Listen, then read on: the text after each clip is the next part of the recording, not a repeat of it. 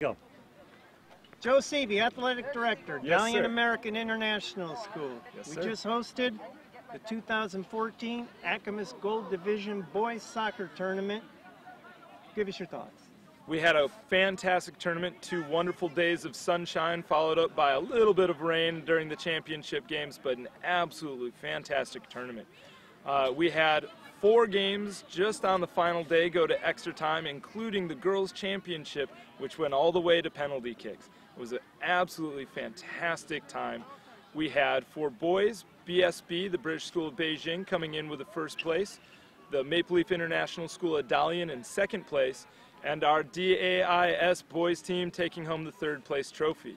On the girls' side of the event, the British School of Beijing uh, came in second, upset by the Hong Kong Academy Dragonflies, who, uh, who beat BSB, the reigning champions, twice this year in order to have to take home that, that championship trophy.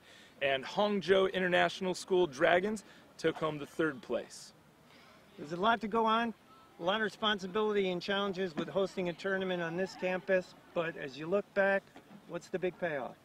The big payoff is seeing all the wonderful smiles, all the great games, the great actions, but also seeing how much and how many of our community members took part and brought in and made this their tournament as well. And I really done. appreciated that. Well done, Coach Seavey. Thank you very much, sir. Very Appreciate it. welcome.